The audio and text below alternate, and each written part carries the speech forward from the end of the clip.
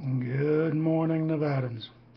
Well, today I thought we'd start off with a little lesson in how not to honor someone.